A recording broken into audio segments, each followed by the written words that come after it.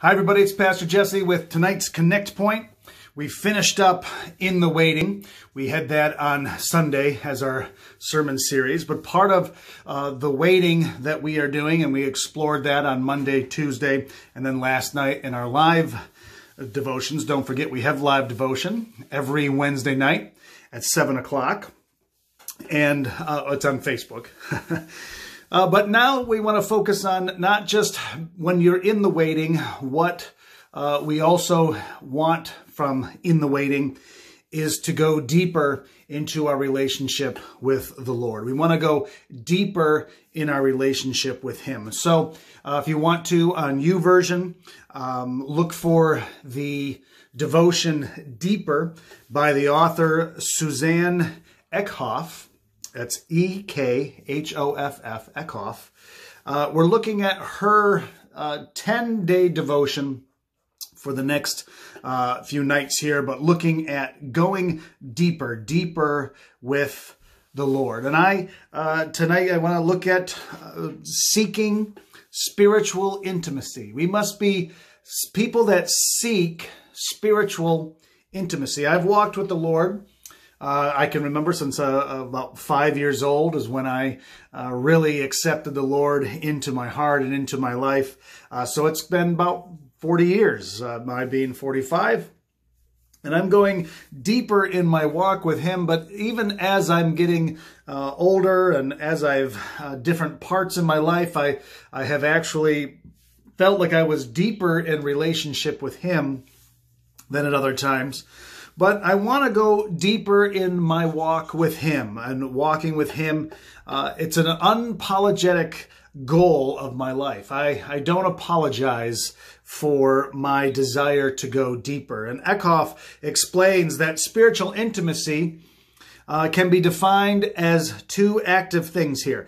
Actively, deeply, deeply seeking to know and be known by the Lord. We want to know Him and we want to be known by Him. And secondly, it's love and receive love from Him. We want to love Him and we want to receive love from Him. Spiritual intimacy can be described as a deep calling unto deep, tapping into the living water, abiding, oneness, knowing and being known. These are all different expressions that we use to describe that we want to have spiritual intimacy. And these teams, these terms, excuse me, are uh, reflected in the scriptures for this day's reading. And so as you meditate on the different scripture verses that she has available, go ahead and look through those and ask the Holy Spirit to teach and to uh, show you new ways in which that you can live. The one I want to point out today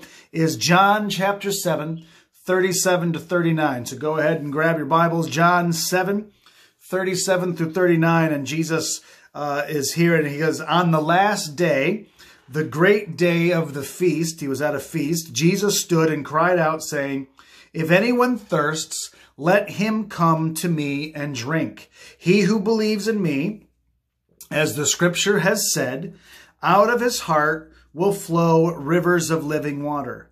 But this he spoke concerning the Spirit, whom those believing in him would receive. For the Lord, uh, for the Holy Spirit was not yet given, because Jesus was not yet glorified in that. I have taught uh, this year on the purpose uh, for spiritual growth is to become more like Jesus Christ. It is the desire or should be the desire of every Christian that we want to be more like him. We want to look less like ourselves and more like him. As John the Baptist said, he must increase and I must decrease.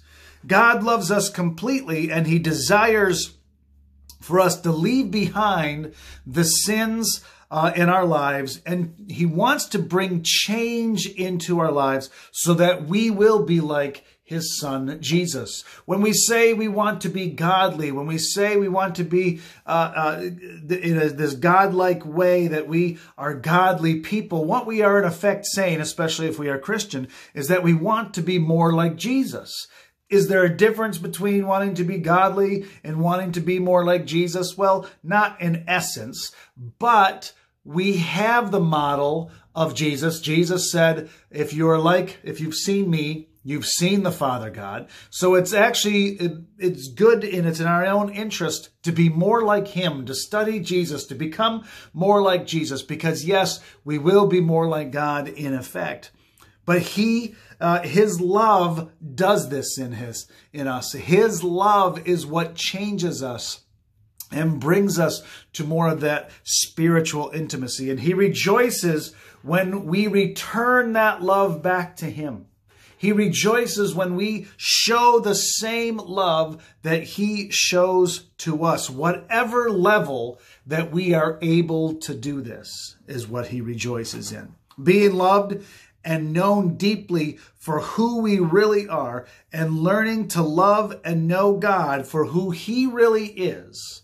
It's this uh, uh, dance of the spiritual intimacy that we're constantly trying to show him the love that he has shown us, this back and forth. This is the deepness with God.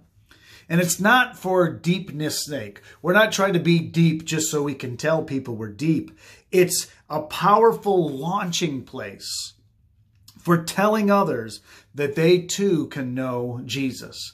If we are building spiritual intimacy in our lives, if we are trying to be more deep in our relationship with Him, but yet do not share that with others, do not tell others about that, we are, as in a sense, half followers because the whole piece together is you love God, you try to be more Christ like, but then you love others too. And those two pieces together is what makes us a true Christian. So we're not trying to be deep for deepness sake. We are trying to have this intimacy with God, to be closer with Him, deeper with our relationship with Him, so that we are in effect more effective in our walk and our relationship and in telling those around us. This is what this study will look at for the next uh, week or so as we walk more deeply in our spiritual relationship with the Father God and Jesus Christ through the Holy Spirit.